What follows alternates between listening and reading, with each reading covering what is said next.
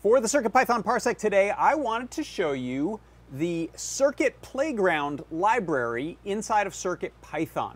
So this is a bit of confusing naming, but for the Circuit Playground Bluefruit and the Circuit Playground Express boards, we have a very nice high-level library called Circuit Playground.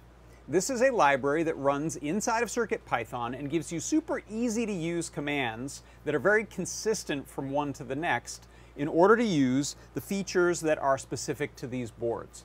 So you can see right now in my code, I have, uh, ignore this, this commented out stuff, but I have right here from Adafruit Circuit Playground import CP and then cp.redLED equals false.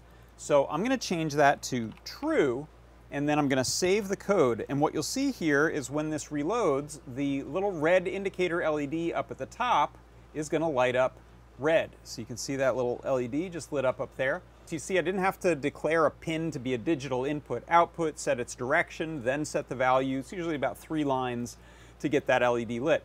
Uh, you can see another example here where I'm going to use not only the red LED. So you can see here the first thing I'll do is say the red LED equals uh, the opposite of whatever the switch is doing. A little switch here.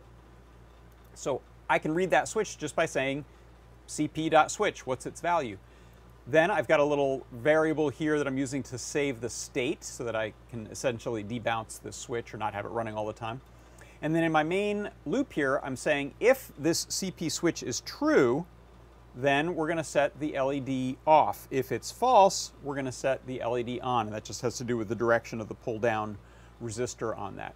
So you can see here, I'm reading a switch with just this little simple command, if CP switch is true, or if CP switch is false.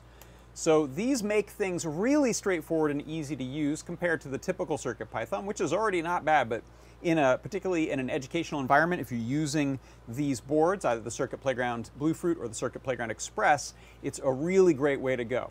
And so that is an introduction to using the Circuit Playground library inside of CircuitPython.